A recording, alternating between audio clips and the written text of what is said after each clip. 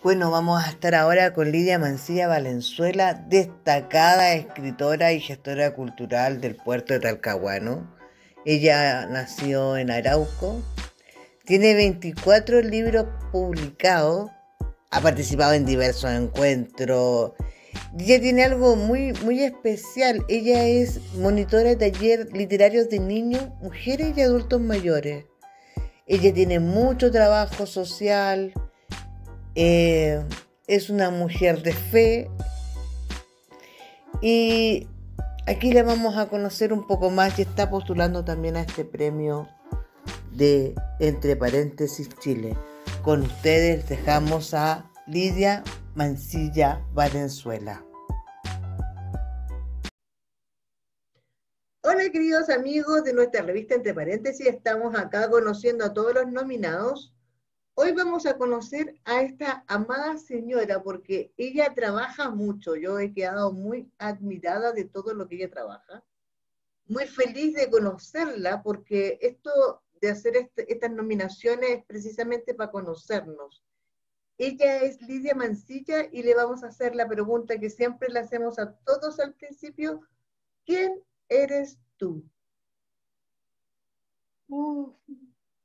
mujer, mamá, cocinera, lavandera, comunista, evangélica. Uh, tengo muchos roles, pero sobre todas las cosas soy mujer. Qué interesante, sobre todas las cosas soy mujer. Todo esto también en, en pro del todo el movimiento femenino que lleva siglos, eso es algo loable. Sí. Cuéntanos un poco más de tu vida, Lidia. ¿Tú eh, vives con tus hijos? ¿Vives sola? Eh, ¿En qué trabajas habitualmente? Cuéntanos. Bueno, yo tengo tres hijos, tengo cinco nietos. Eh, soy una mujer que dice lo que hace y hace lo que dice.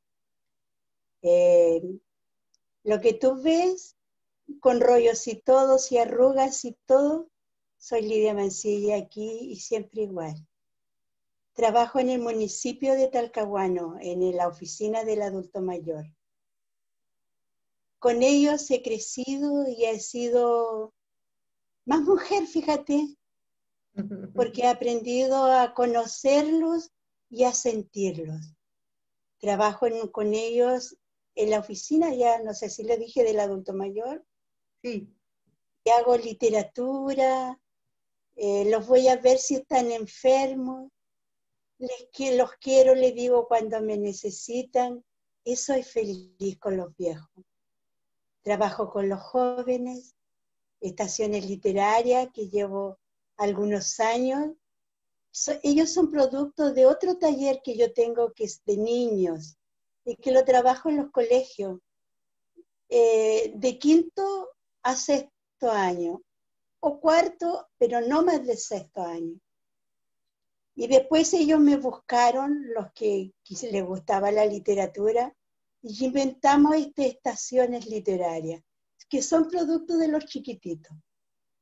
Eh, yo creo que soy una mujer afable, que le gusta ser transparente, a veces lo logro, a veces no.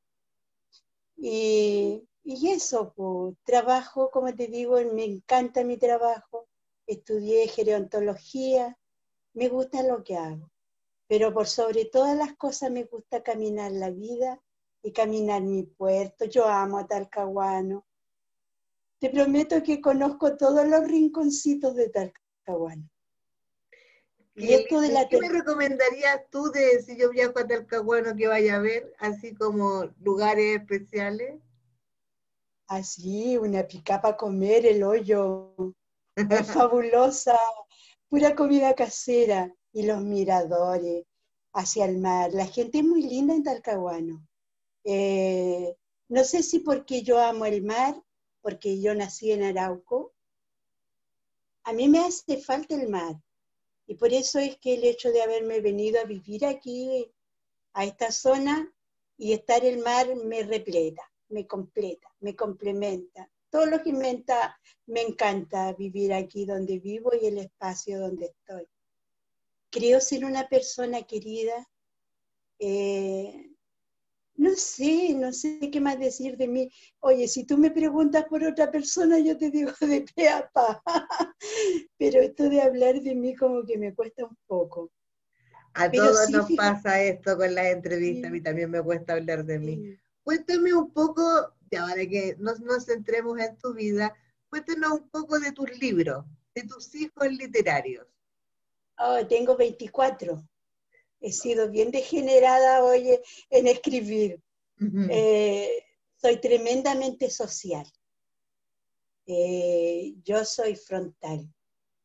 Eh, aprendí del hombre con el que viví 25 años, que falleció el año pasado, mi compañero de vida, poeta como yo. Aprendí que lo que se escribe con la mano no se borra con el codo.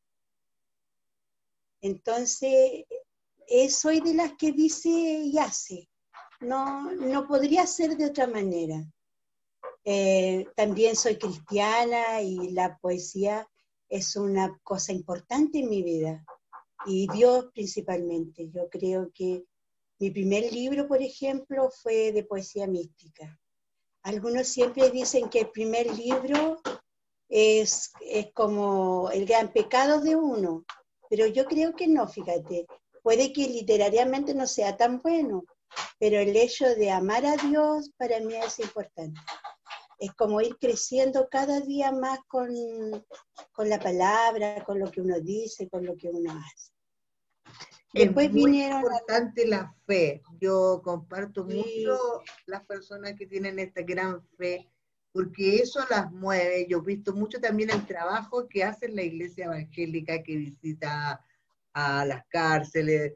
Cuando alguien está enfermo también lo visitan. Es muy loable lo que hace la iglesia también en su trabajo, también de, ayudar, que eso es lo más, lo, mejor, porque... Es que eso, lo, eso es lo, lo número uno de las que para ayudar, para cooperar, porque es importante. A veces uno no necesita más que, que te digan, no te preocupes, yo estoy aquí. Y eso a veces a uno lo valora mucho. Y veo que usted lo hace mucho con todo el mundo. Eh, es que mira, yo creo que conocí a Dios sentir como el amigo, más que ese Dios de universal que uno tiene y que lo ve siempre crucificado. Yo tengo un amigo y ese amigo me libera. No es que me haga la carga más fácil, pero el hecho de saberlo ahí para mí es importante. Creo que tenía como nueve años cuando lo descubrí. No te voy a decir que soy una cristiana ferviente y que se lo pasa con, con la rodilla en el suelo. A veces me voy al desierto también, pero él es el motor. Entonces es importante para mí entre Dios y, la conciencia social se bate mi poesía. Tengo tres libros que son, es una trilogía que yo escribí al tiempo de, dictadura, porque tengo heridas de, con respecto a eso. Todo Chile tiene heridas con respecto a eso, lo que pasa es que hay gente que no lo reconoce, prefiere pensar que no pasó. No, yo tengo tres libros que hacen mi trayectoria en eso. Transeúnte Otoño, que es al hombre que yo amé de niña y que lo mataron, y que ha cruzado toda mi vida el amor, quizás porque no tuvo un final, porque lo mataron antes de tiempo. El otro se llama Profundamente Humanas, que es un libro dedicado a las mujeres embarazadas, muertas en dictadura, profundamente humanas y el, el último alarido, que es un texto que yo hablo de la vivencia, de cómo veo que la sangre que corrió en esos tiempos, que fue la que yo amaba, todavía está sin lavarse, todavía está en las calles botadas. Entonces, esto hace que yo se me revele y diga cosas y me enoje y lo digo. Yo, imagínate que como que tú me preguntabas por el libro. Uno de mis últimos libros se llama Rompan Filas.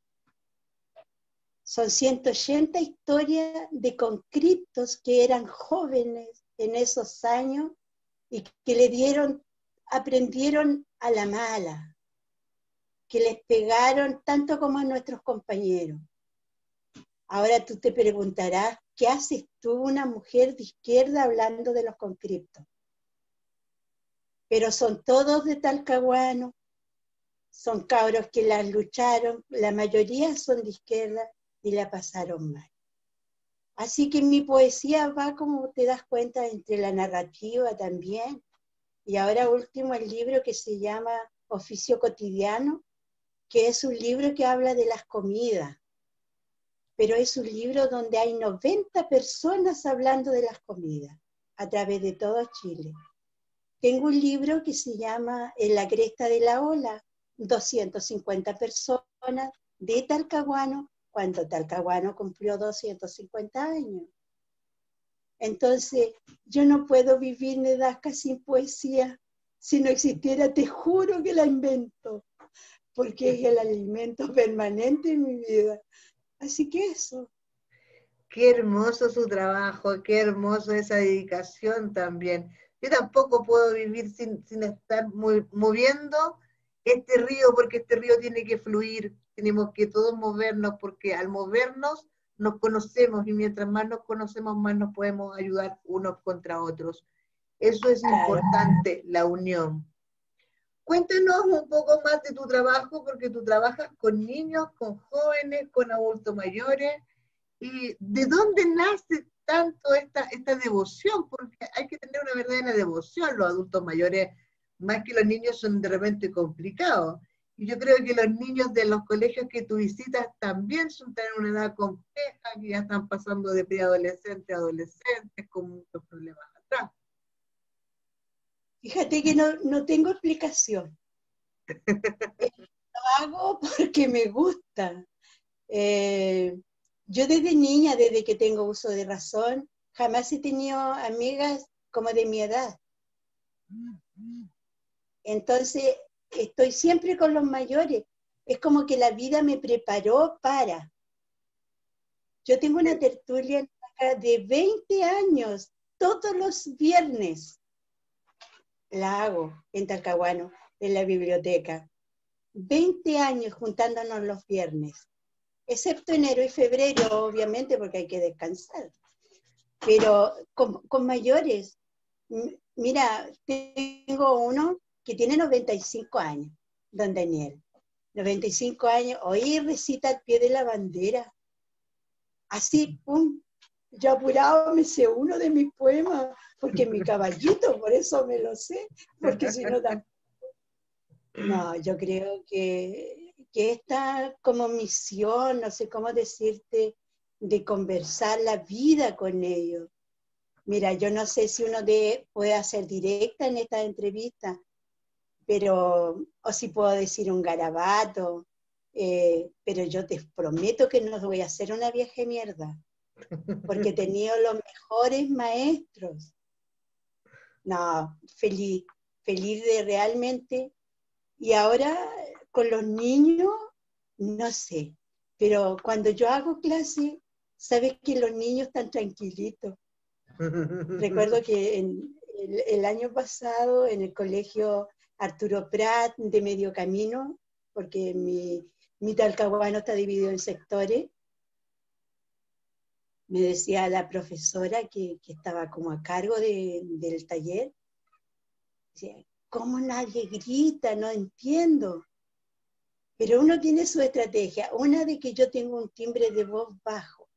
Nunca grito. Jamás me vas a ver gritando. No me interesa hablarle fuerte al otro. Entonces, mira, aquí están los que quieren estar. Si a ti no te gusta, te puedes ir. No, tía, si me gusta la poesía. Ahora, ¿qué es poesía? Y uno tiene su juego y su... No, hermoso. Creo que la vida me ha dado la poesía para que, no sé, no solamente para, para mostrar lo de mi tiempo, sino el tiempo del otro también. Tengo muchas importante eso. Sí. Lidia, cuéntanos, ¿y de tus libros, cuál es tu libro favorito o es el libro que más, más te gustó, más te marcó, o es el libro que, que tú le recomendarías a un amigo que lea? Me gustan los 24. no, un extremo. Transeúnte de otoño. ¿Y por qué? Eh, porque lo, lo escribí durante 40 años. Cuando supe dónde ir a dejar una flor, entonces cerré el capítulo. Qué hermoso. Porque cuento la historia del amor de mi vida. Eso no quiere decir que yo no haya tenido otros amores, pero ese amor, claro, ese amor inconcluso, ese amor que todavía me duele el estómago, esas cosas ricas, tiernas de la adolescencia, y yo te diría más de la niñez. Me gusta, además que es un premio, claro, además que me trajo muchas, muchas satisfacciones, como un premio latinoamericano en Argentina, el premio del transeúnte de otoño. Ese mismo año que gané este premio en, el municipio, acá en, en mi Talcahuano amado, eh, me dieron el premio municipal de arte y letras desde la comuna. Entonces ha sido, y he recorrido Chile con él, Qué importante eso, o sea, han dado usted de profeta con su libro. Sí, mira, dice, tiene, uno de los poemas dice así, hoy, hoy tengo previsto dialogar con los inmigrantes de la memoria, porque de nada sirve haber oído sobre la reconciliación y el consuelo si falta lo invisible, si se requiere lo que no está. Recuéstate conmigo, sin versos, sin fotografías, sin historia, seamos mañana transparentes, que los tiempos corroídos se disuelvan en los secos. Los mayores conocen el secreto y se apartan de mi transeúnte de otoño. Amo ese libro porque todavía amo a eso. Qué hermoso, me dejó como medio hipnotizada con su tono de voz. es ese tono de voz como de, de la, bueno, que lo pongamos en el contexto de mar como el de la sirena cuando conquista a los... Ah, sí, gracias. así como que te deja como concentrado en lo que usted está diciendo. Y esa es una muy buena cualidad, no todo el mundo lo logra. Yo creo que es por eso que me escuchan. Claro, porque como usted dice, uno se, se, mete en lo que usted está diciendo, es importante, ¿no? Son cualidades. Claro, y, y, el otro libro es, es un libro de pájaros, de flores, entre, por un sendero de lingues y boldos, que también ha sido como súper importante en mi vida. Fue, eh, por decir algo, eh, fue mención honrosa en los Juegos Florales Gabriela Mistral Lidia, eh, disculpe que la interrumpa, pero yo sé que es una herida que cuesta cerrar. ¿Usted siente que con este libro cerró la herida de su amor? La, ¿O la herida todavía duele? No, tengo cicatriz. Tiene cicatriz. Y cuando la veo duele, pero ya no con dolor, porque hecho de que la herida está sana, pero sí está la cicatriz. Además tengo a alguien que me lo recuerda todos los días. Entonces, mi hijo, ¿ves? Entonces, son cosas que no, no se olvidan y bueno, y creo que la adolescencia te marca. Además, eso hizo que yo perteneciera a Mujeres por la Memoria, que estuviera en el banquillo también, que también pinchara los pacos de poto, ¿cachai? Así, con todas esas cosas que uno hace. ahora ya estoy vieja, ya, ahora que peleen ustedes, las jóvenes.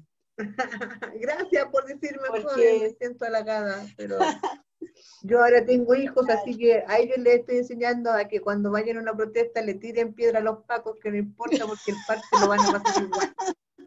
Oye, y esto va a salir todo. Qué es verdad, yo, yo, mi hijo Salvador, que estuvo en la revolución de los pingüinos, él era presidente del centro alumno del, del liceo. Y dice que cuando me llaman de la comisaría que lo tengo que ir a retirar porque está detenido por haber estado en la marcha. Entonces, ¿llegaste a la marcha cuando entró a la comisaría? No. Los carabineros, los pacos estos nos hicieron encerrar en la plaza antes de llegar a la, y nos echaron a todos arriba. Más encima no le pegaste ningún paco y te tengo que venir a la comisaría, qué vergüenza. Y el carabinero me queda mirando, ¿por qué le, incita la violencia? Porque la violencia le incitaron ustedes primero. De partida llevándose detenidos jóvenes que todavía no estaban haciendo ningún tipo de desperfecto. Ya pasa el cabro luego. Pero es verdad. Fíjate. Fíjate que yo tuve una, una experiencia terrible con respecto a eso con mi hijo mayor. Cuando vino la, llegó la democracia, esto de la primera eh, celebración, no sé cómo decirlo, de celebración así como para pensar en Salvador Allende. Mi hijo estaba, estaba en la universidad y lo sacaron de allá, lo tomaron preso y se lo llevaron a la Fiscalía Militar primero y después al Manzano. Entonces era 11 de septiembre y mi hijo se enteró de su, de su verdad adentro en la cárcel.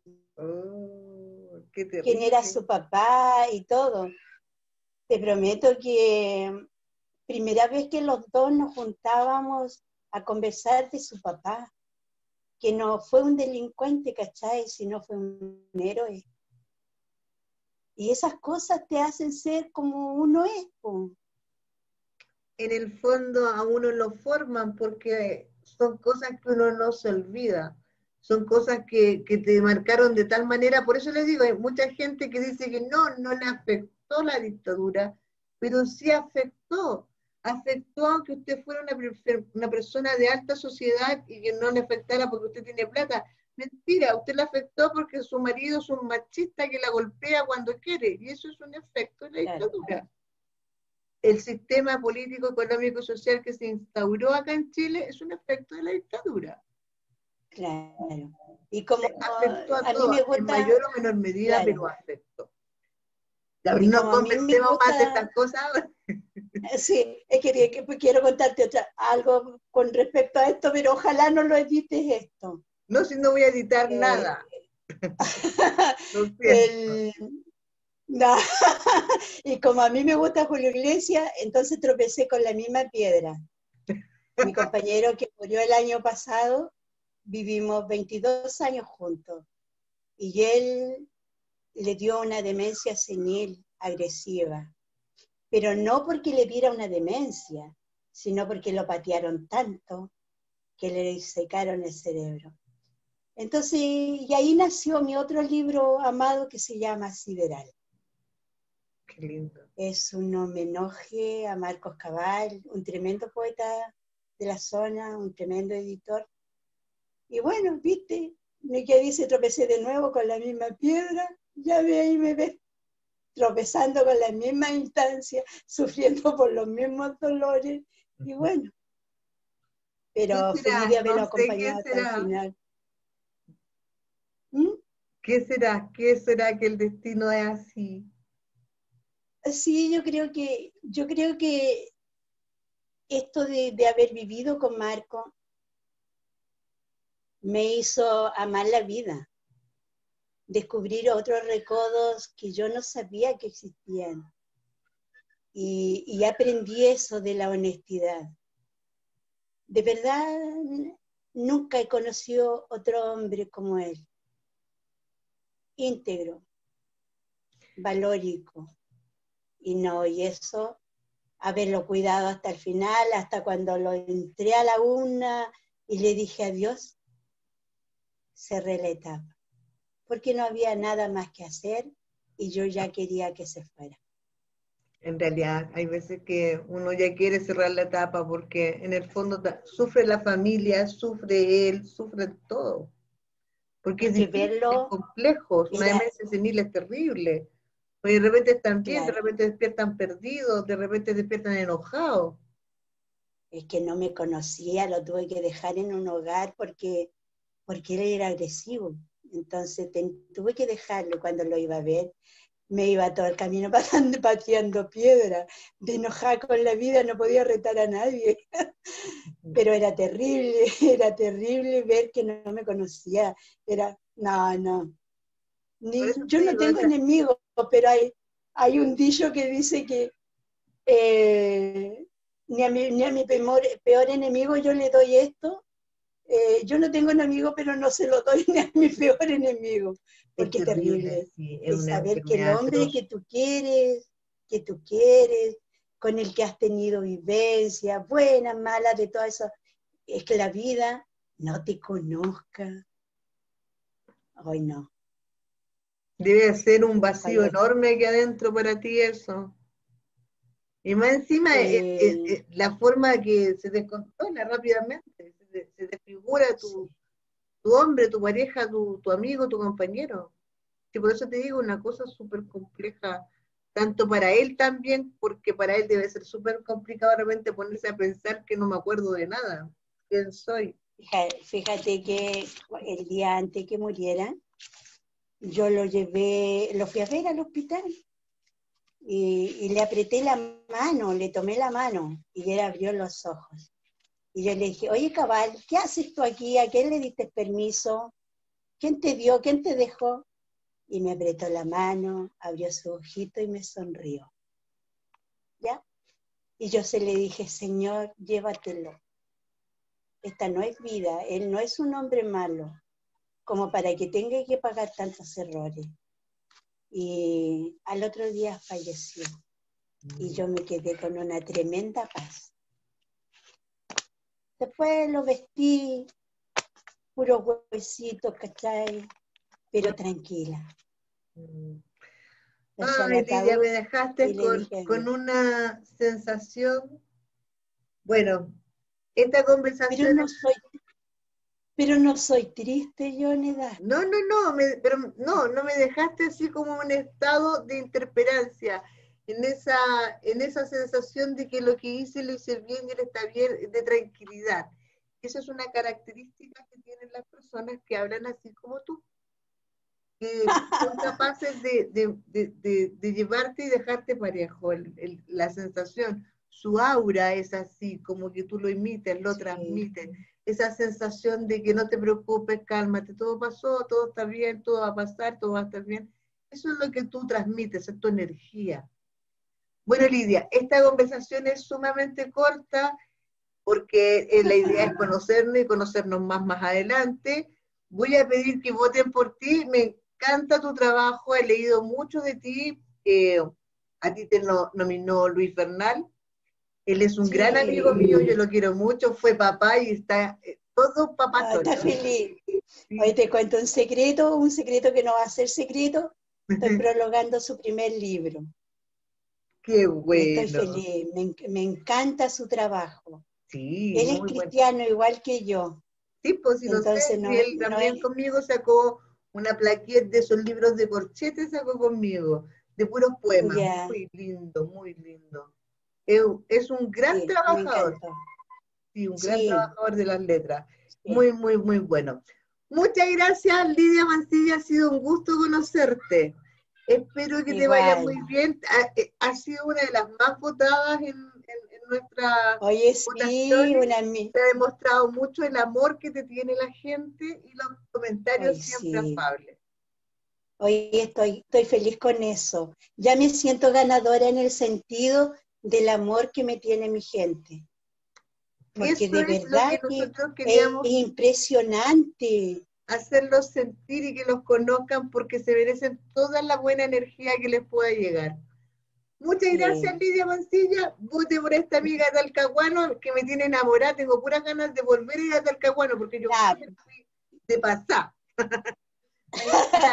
ahí voy a ir no, tienes que venir Tienes que venir, recorrer, recorrer, muchos sitios y ir a comer al hoyo. Es importante. Muchas gracias, Lida. Un abrazo. Muchas gracias, a ti. El micrófono es tuyo para despedirte. Bueno, agradecer a todos esos humanos eh, que me hacen creer otra vez en los humanos, los que han votado por mí. Yo le mandé solamente a siete personas y se multiplicó. ¿Qué más puedo decir? Que agradezco a la vida, agradezco a Dios y que tengo una familia maravillosa eh, y que mis amigos son los pilares de mi existencia. Y mis viejos que los amo, cariño a todos mis viejos, que son como veintitantos. Un gusto haber visto tu sonrisa y ya te pasaste. Gracias por la nominación. Me siento, como te digo, ganadora en el sentido de encontrar con tanta gente que me ha votado. Así que eso, pues, amiga. Un abrazo de oso. Vale, pues